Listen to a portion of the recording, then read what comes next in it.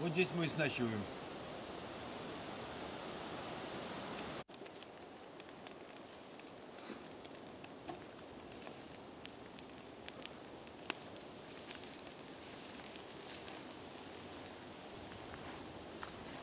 Завалил